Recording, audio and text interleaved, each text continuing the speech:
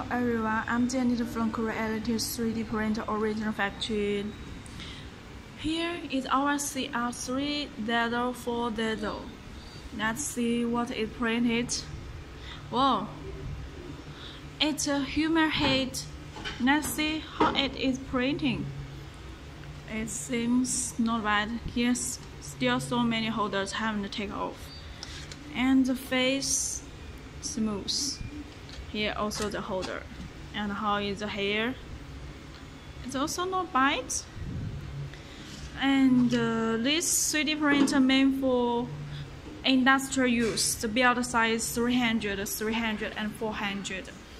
And here it cross X, Y, X size for stable printing. And here also have a filament detector and a holder for filament.